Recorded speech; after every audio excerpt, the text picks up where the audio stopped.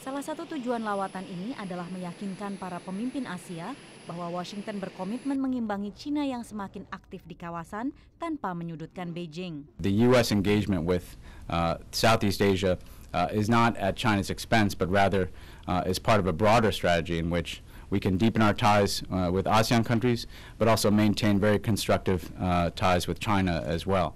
Persepsi bahwa Washington tak berbuat banyak atas aneksasi Rusia terhadap Crimea menimbulkan kekhawatiran bahwa China dapat semakin agresif terkait klaim teritorialnya di Laut Cina Selatan dan Timur.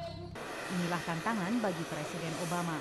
Showing different states of the credibility of U.S. policy, the determination, despite events in the Middle East and despite events in Central Europe, that the United States means what it says in terms of a redirection to Asia and the Pacific.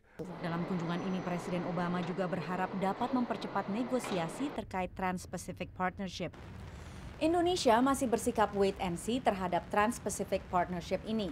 Sementara di dalam negeri masih terdapat penolakan termasuk dari anggota Kongres Partai Presiden Obama sendiri, Partai Demokrat.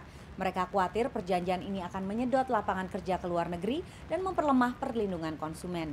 Jika tercapai, perjanjian perdagangan bebas antara 12 negara Asia Pasifik ini akan mencakup 40 persen produksi domestik bruto dunia. Dari Washington, Patsy Widakuswara, VOA.